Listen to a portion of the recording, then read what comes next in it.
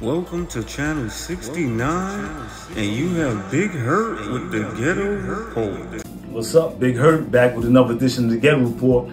We want to talk about the shooting down in Florida. They had first reported that Jack Boy was shot, but then we found out later on that his brother was shot. And the way we hear it is that whoever shot him, perpetrator or the perpetrators were laying in wait, and they wait till like 7 a.m. That means they probably was out there all night.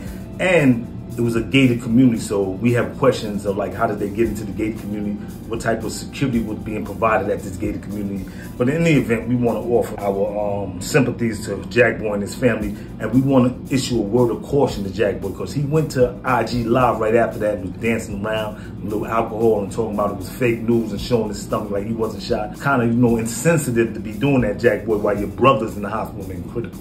And also, the people that we don't know, they said the police was on the news and said it was a targeted hit. So you really got to think, you should sit down and think for a moment, who was the target, you or your brother? Because if you were the target, then they may still be out there looking to try to get at you.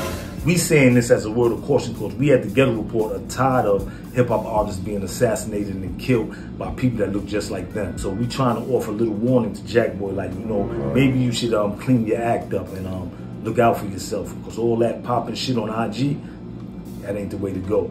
We also want to talk about. We interrupt our program to bring you this important message.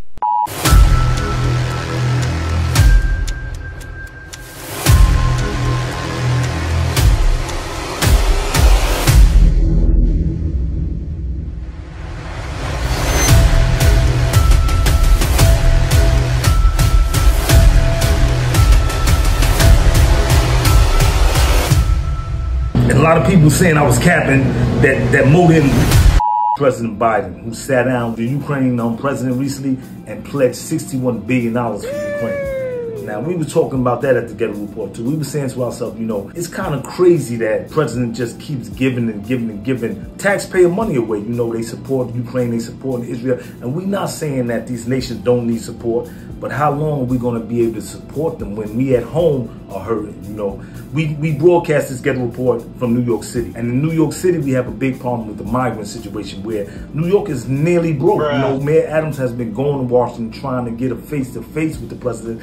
And it seems like every time he goes the president leaves town. I don't know what that's about. Like, he don't want to sit down with Mayor Adams, but you sit down with other world leaders. And, I mean, take care of home first because if you don't take care of home first, the people may rebel against you. We feel like everybody in New York should go to Washington next time Mayor Adams goes and sit on the White House lawn and go to um, Biden's house because you really, you ignore New York and we in a state of despair over here. You know, we got buildings collapsed. Building fell down in the Bronx. Our infrastructure's messed up. We got people living all over the streets. We got these migrants, 100,000 migrants that came to the city because we're right to shelter state. We need help. We're not asking for 61 billion. So if you can give another nation 61 billion, you can spare a couple of billion for your home. You know what I'm saying? New York City.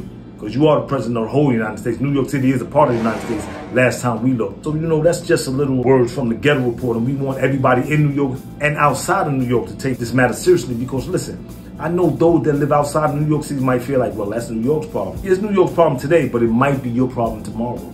So take it from Big Hurt, you know what I'm saying? If they do that to New York City, they do that to everybody else. That was another edition of the Ghetto Report. Big Hurt, and I'm out.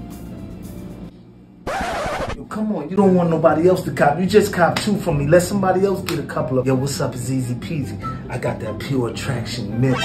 This right here had them niggas all over. You know what I'm saying? Cop this. If you ain't got your gift for her for Christmas yet, and Valentine's Day coming right after Christmas, I got a case of these. They fell off the truck. That pure attraction. Listen, they going for five dollars. These cost $45 in the store. Trust me, I wouldn't lie to you. Easy peasy, I got them, please.